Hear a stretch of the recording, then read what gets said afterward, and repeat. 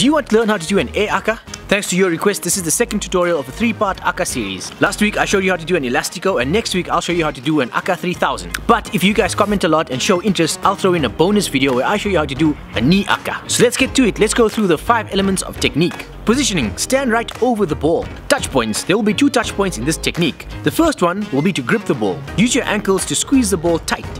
Weight shifting. While gripping the ball, lift your right leg so that all of your weight is placed on your left leg. Then hop to the right and lean your body a bit to the left. Movement. As you're in mid-air, release the ball, causing the ball to go up and then snap the lower part of your leg.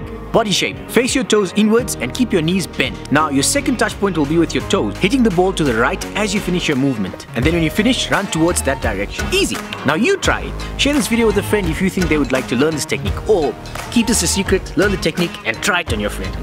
Be sure to comment let me know what you think. Goodbye.